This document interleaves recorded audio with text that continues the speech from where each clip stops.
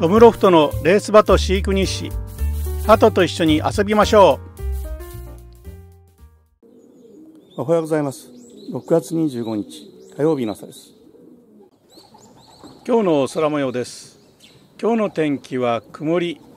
風は北風1メートルから2メートル。昨日の夜は暑かったですね。熱帯夜。とうとうこういう季節がやってきました6月になりましても涼しい日が続いていたので夜はクーラーなしで寝られたんですけどもちょっと昨日は暑くてクーラーのお世話になりました。これからクーラーの季節ですね。ハトさんおはようございます。今日の棚の上の位置は OB のオスですね。ブラウェポリスです。いい結果で、えレースを途中でリタイアした鳩です。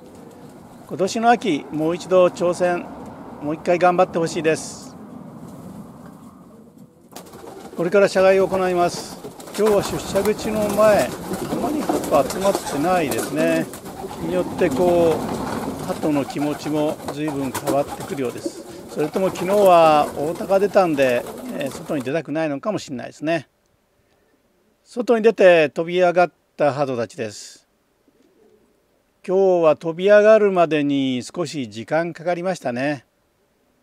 3分ぐらい出社口のところで様子見をしてちょっと前に飛び上がったところです。飛び出してしまえばなかなかいい感じですね。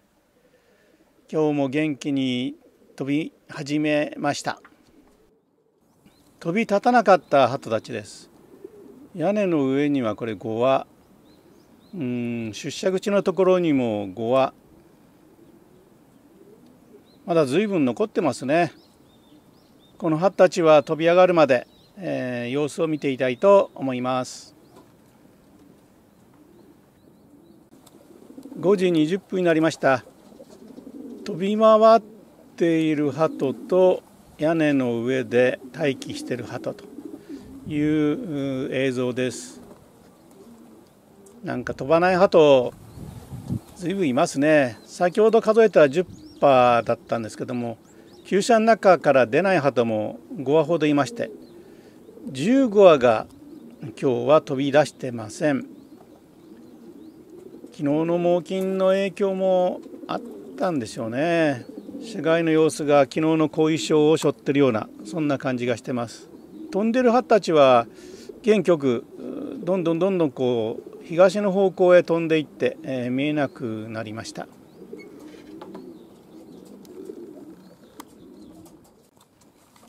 厩舎の屋根の上にいた鳥が5時25分ごろ飛び始めました、まあ、飛んだらもうすぐ降りてきたっていう感じで10分間ちょっとしか飛ばなかったですね。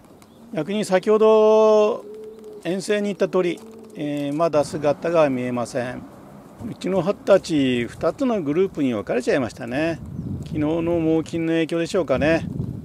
遠征に行ったグループとあまり飛びたがらないグループということです。ただいまの時間6時20分になりました。厩舎の周り飛んでいるのは遠征に行かなかったった鳩たちです。遠征に行った鳩は遠征後1時間経ったんですけどもまだ戻ってきてません。今日の遠征はちょっと長時間。どの辺をふらついてるんでしょうか。厩舎内の気温も今日は26.7度ということでだいぶ気温が上がりました。こういう気温で飛ぶこと今までなかったので遠征に行ってる葉たち相当暑くて苦しいんじゃないかなっていう気がしてます。遠征中どっかで降りちゃってっていうことがないことを願うばかりです。6時25分になりました。遠征に行った鳩が今戻ってきました。わあ端数多いですね。他厩舎の鳥と一緒の戻りです。何羽ぐらいだろうこれ。他厩舎の鳥、えー、2 3 0パーは入ってるんじゃないかなっていう気がします。うちのハトがこの多厩舎の鳥の集団を連れて戻ってきましたのでうん一安心ですね、えー、19社の鳥だけポツポツポツポツ帰ってくると。取り残されちゃうんじゃないかなって心配あったんですけども。多厩舎の鳥このようにこう連れて戻ってきてますのでこれならば大丈夫ですね。もう社外開始から1時間と15分飛んでますのでうちのハッたちはもう降りたくてっていうことで降りてくると思いますし、えー、再び他厩舎の方へ飛んでいくということはないと思います。なかなか今日は他厩舎引っ張ってきてくれてありがとうというところで、え、鳩が降りてきています。うんだいぶかっくなってきましたね。先ほど上空で他厩舎の鳥分かれてどちらへ行ったんですかね。ちょっとわからないですけども。うーん多分他厩舎の鳥も無事戻っていけばいいなと思ってます。まずは自分家の鳩、えー、ちゃんとみんな揃ってほしいなと思ってます。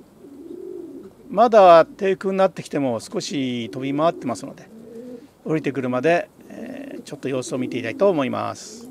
ちょっと私の気持ちあまり長いこと遠征から戻ってきてなかったんで心配だったんですけども戻り方含めて、えー、戻ってきてからの飛び方含めて、えー、ほっとしてますし、えー、嬉しい気持ちでいっぱいです。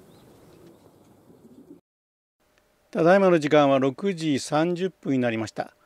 車外開始から1時間と20分経過です鳩が今降り始めました降りてきた鳩の様子はどうですかね。まあ厩舎の周りぐるぐる飛んでいた鳥も10羽ぐらいいますのでそれは度外視して、えー、遠征1時間と5分した鳩肺の差しの鳥なんか羽を落としてるような、え、気がしますね。思ったよりもダメージが少ないもっと口を開けてえー、息苦しいっていう感じで降りてくる鳥が多いのかなと思ったんですけどもこの気温と湿度高いんですけども今日は難なく乗り切れたようです。屋根の上みんな降りてきて10分ぐらい経ってから呼び込んで今日の車外を終了したいと思います。6時50分になりましたので今呼び込んで餌をあげているところです。今日は長時間遠征行った鳩が多かったので気になるのは鳩の数ですよね。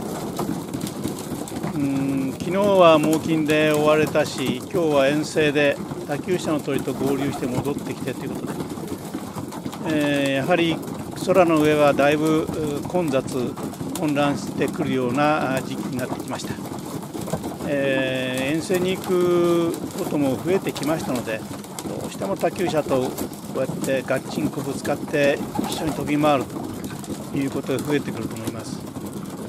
まり遠くの厩舎とガッチンコして飛ぶんじゃなくて、えー、比較的近所の厩舎と一緒に飛び回ってほしいなっていう気持ちです。今日の他厩舎の鳥どこの厩舎なんでしょうかね、えー、今餌をあげて、えー、外へ外を見たらですね可愛い灰の差しの鳥が屋根の上にいます。これはまだ若いな若鳩ですね。客観の上に黄緑色のセロ缶その上にシールが貼ってありますね。読めるような読めないような。